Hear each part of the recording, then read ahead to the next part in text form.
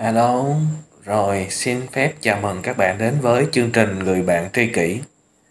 Chương trình được phát sóng vào mỗi thứ ba hàng tuần trên kênh YouTube Trumi. Chúng ta có một cái tư duy mà mình cảm thấy nó thật sự rất là hơi hơi hay nói cách khác là hơi nguy hiểm đó, đó các bạn. Nó hơi nguy hiểm. Nhiều người cứ nghĩ rằng á là chúng ta à, không cần có nhiều kiến thức à, chúng ta chỉ cần học những kiến thức liên quan tới chuyên môn của chúng ta thôi.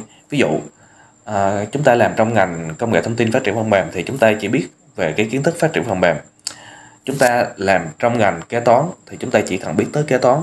Chúng ta làm trong ngành tài chính ngân hàng thì hầu như chúng ta chỉ để ý những cái kiến thức xung quanh những cái lĩnh vực đó. Nhưng thật sự à, suy đi nghĩ lại thì đó là một điều không nên nha các bạn. Đây sau này mình sẽ đưa cho các bạn xem cái ví dụ sau thì các bạn sẽ hiểu là lý do tại sao cái kiến thức nó quan trọng như vậy. Mà chúng ta nên để ý.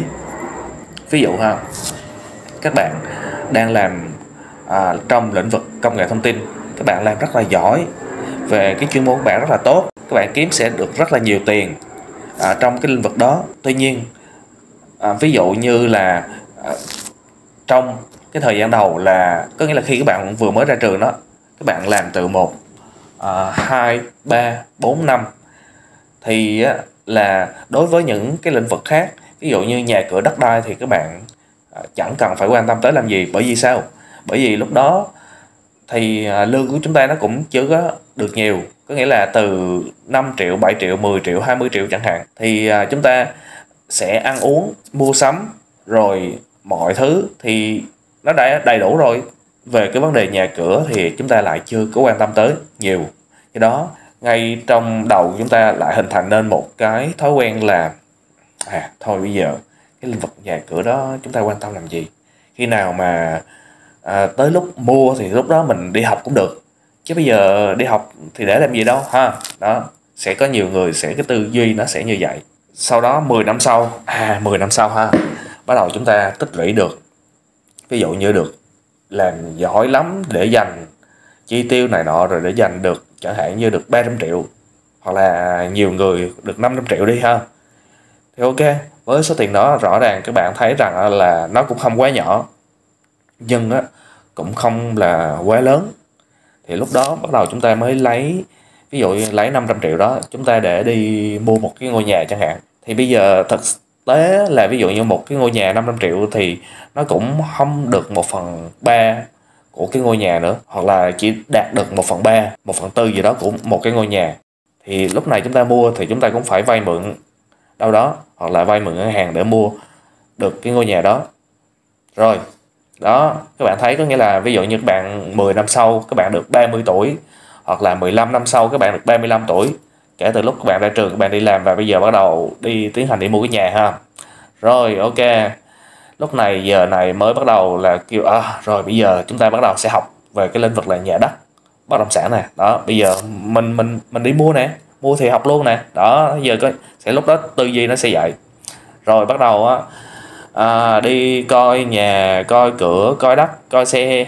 Nói chung là bắt đầu là sẽ lên mạng tìm kiếm rồi à, thấy ờ, mấy anh chị môi giới họ đăng cái sản phẩm nào đó bắt đầu chúng ta đi tới đi coi đó ok. Hoặc là nghe người quen giới thiệu chẳng hạn không? Nhiều thứ ha rồi thì à, sau khi đi coi nhiều chỗ xong rồi á, thì chúng ta mới thấy à bây giờ thì với số tiền này thì mua cũng chưa có đủ ha. Thì nói chung là giống như nãy mình nói ban đầu rồi em mua cũng chưa đủ đâu.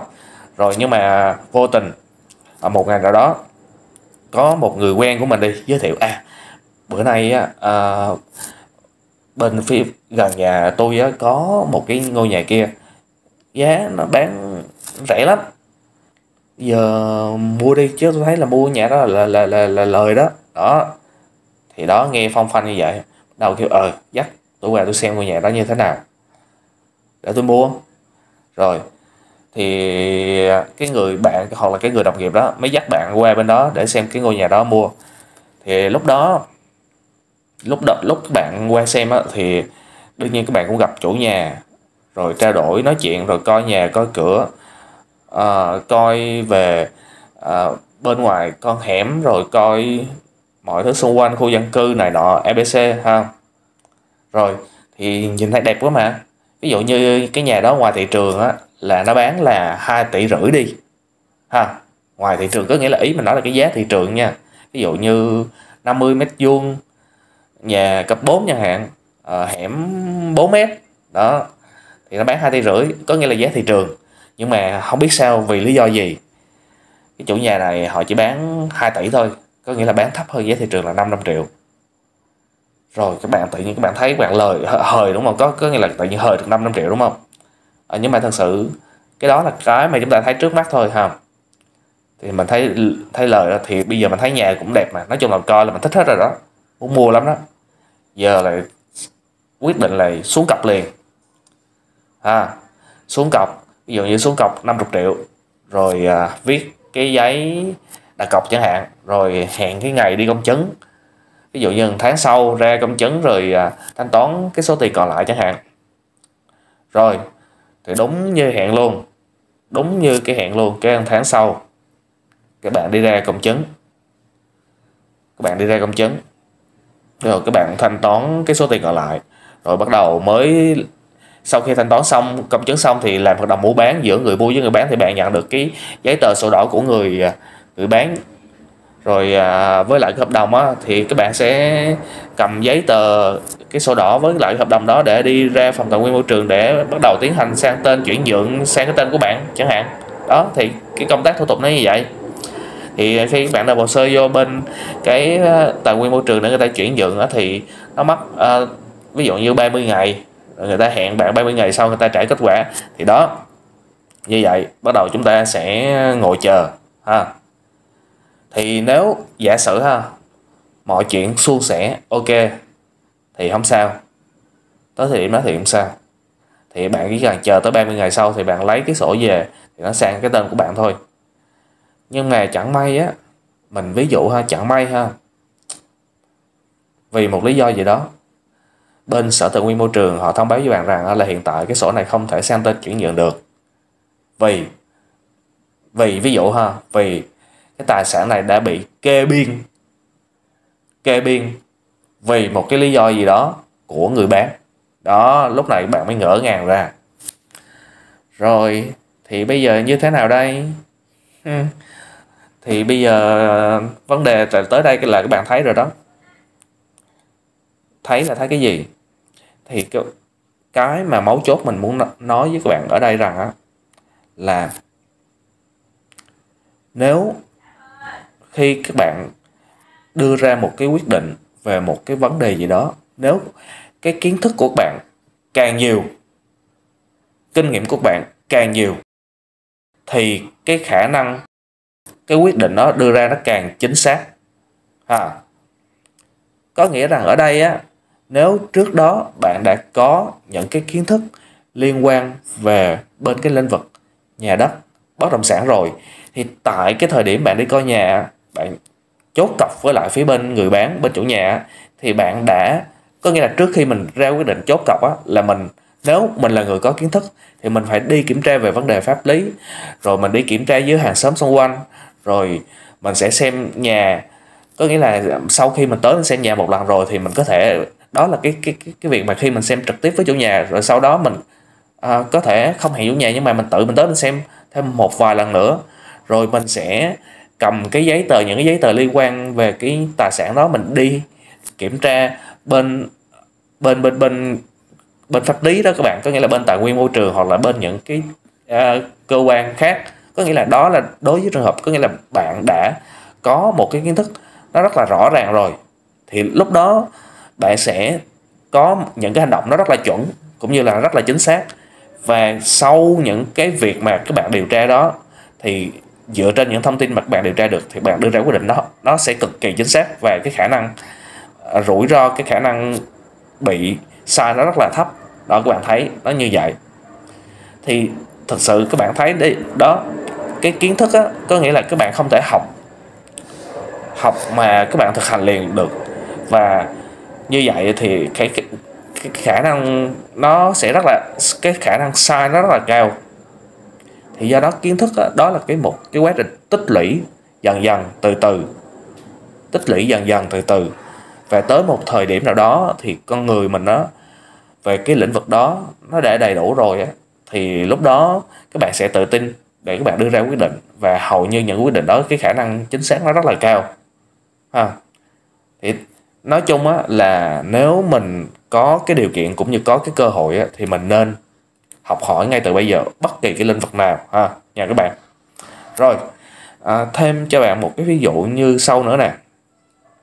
Các bạn thấy đó như cái việc mà gửi tiết kiệm thì à, thì mình nghĩ là cái việc đó nó quá cực kỳ là đơn giản đúng không các bạn? Mình nghĩ là ai cũng biết luôn á. Các bạn mà đủ 18 tuổi có 1 triệu đồng 500 ngàn đồng là các bạn có thể mở được một cái sổ tiết kiệm là hầu như ai cũng biết cái gửi tiết kiệm đó và gửi tiết kiệm để làm gì? Để lấy lời. À, chỉ vậy thôi. Giữ được cái tiền gốc. Ví dụ mình có 100 triệu mình gửi tiết kiệm trong ngân hàng thì 100 triệu đó mình có cái tiền gốc mình giữ lại. Và tiết kiệm một tháng ví dụ như lời được 500 ngàn một triệu gì đó chẳng hạn. Đó gửi tiết kiệm mình nghĩ, mình nói là ai cũng biết đó. Các bạn thấy đúng không? Nhưng đó cũng là một cái lĩnh vực mà cái kiến thức nó rất là nhiều trong đó. Chẳng qua là chúng ta không tìm hiểu, chứ chúng ta chúng ta mà có tìm hiểu á, thì á, là nó sẽ vô vàng cái vấn đề mà chúng ta có thể học hỏi được. Mình cho một cái ví dụ đơn giản ha, cũng là đi gửi tiết kiệm, đúng không? Nhưng mà rõ ràng á ví dụ như đối với kỳ hạn một tháng á, thì khi các bạn gửi ở ngân hàng A, có thể nó vẫn lãi suất nó vẫn cao hơn ngân hàng B. Thì ít nhất nếu bạn có kiến thức, bạn biết về vấn đề đó, thì rõ ràng bạn gửi ngân hàng A thì bạn đã có được một cái lợi nhiều hơn từ ngân hàng B rồi, đúng không? Thì cái mình nói đây là chỉ là nói về cái vấn đề lãi suất thôi. Ngoài ra mình phải cân nhắc về vấn đề rủi ro cũng như là những vấn đề khác. Ví dụ như ở ngân hàng A lãi suất nó cao hơn nhưng mà về cái rủi ro nó có cao hơn hay không so với ngân hàng B chẳng hạn. Đó mình chỉ có kiến thức mình phân tích thì mình mới hiểu được. Thì các bạn thấy đó các bạn đi làm cả đời ha đi làm cả đời các bạn hoàn toàn không quan tâm tới những cái lĩnh vực như là bất động sản tài chính ngân hàng ha mình không quan tâm. Tại vì đó không phải là chuyên môn của mình. Làm cái toán mà quan tâm đó làm gì đúng không? Làm công nghệ thông tin mà quan tâm đó làm gì đúng không? Ờ à, đó như vậy đó. Thì các bạn giỏi trong những lĩnh vực khác của các bạn. Bạn tích góp được nhiều tiền lắm ha. 2 tỷ 3 tỷ 5 tỷ chẳng hạn. Rồi như các bạn thấy đó thì khi các bạn tích lũy được trong cái ngành nghề của bạn có cái số à, tiền cái tài sản nó nhiều rồi các bạn cũng dùng nó. Các bạn cũng phải dùng cái số tiền đó để đi đầu tư sinh lời.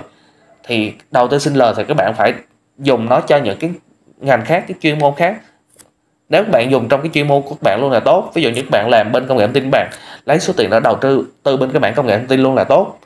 Nhưng mà thường mình thấy cũng có rất là nhiều người đầu tư những cái mảng khác, ví dụ như chứng khoán chẳng hạn, hoặc là nhà đất chẳng hạn. Đó là những cái mảng mà nó trái ngành với chúng ta. Ha, thì có phải là rủi ro nó cao không? Thì các bạn cũng thấy đó đó là cái trường hợp các bạn đi đầu tư nha. Còn những trường hợp mà gọi là gửi tiết kiệm không thôi đó là tiết kiệm không hẳn là đầu tư tiết kiệm chỉ là giữ tiền thôi chứ bởi vì tiết kiệm nó sinh lợi được bao nhiêu hết á. Thì đó đi gửi tiết kiệm như các bạn thấy hiện tại bây giờ là các bạn thấy ví dụ như mình tích góp được 3 tỷ mà vừa rồi mình gặp cái vụ của ngân hàng SCB và Thịnh Phát là coi như là mình bây giờ các bạn thấy mà nếu mà chẳng may mình không có kiến thức mình dính vô đó có phải là mình mắc trắng không? Có nghĩa là tài sản tích góp cái đời của mình là đi tông hết. Đó thì cái vấn đề mấu chốt ở đây á à, mình muốn gửi tới các bạn á hãy cố gắng cố gắng từng ngày từng ngày học mỗi ngày học một chút. Các bạn có thể học bất kỳ trong ngành nghề lĩnh vực nào mà các bạn được tiếp xúc tới. Chứ chúng ta đừng ngại khó nó và chúng ta bỏ qua. Thì à, nếu các bạn tích lũy kiến thức một ngày nó một nhiều rồi á thì khi các bạn đụng tới hoặc là các bạn đưa ra một cái quyết định nào á thì cái xác suất nó sẽ càng cao. Xác suất thành công đó các bạn xác suất thắng á, nó sẽ càng cao còn nếu mình cái kiến thức kinh nghiệm của mình nó ít quá nó ít quá chúng ta chờ tới thời điểm đó chúng ta mới học. Thì khi mà mình đưa ra cái à, quyết định á thì cái xác suất xác suất thua nó lại càng cao. Không phải là cái cái khi các bạn đưa ra cái quyết định á cái việc thắng hay thua không phải là chỉ dành riêng cho bạn mà lúc đó nó sẽ ảnh hưởng tới đương nhiên là bạn rồi và cho cả kể cả gia đình bạn luôn. Bởi vì lúc đó ở những cái thời điểm đó 40 tuổi 50 tuổi đây các bạn tích lũy được số tiền vài ba tỷ rồi. Ha thì lúc đó đâu các bạn nó phải là sống một mình nữa. Mình, mình không nói trường hợp những trường hợp sống độc thân nhưng mà lúc đó các bạn đã có gia đình rồi có vợ có con có chồng rồi.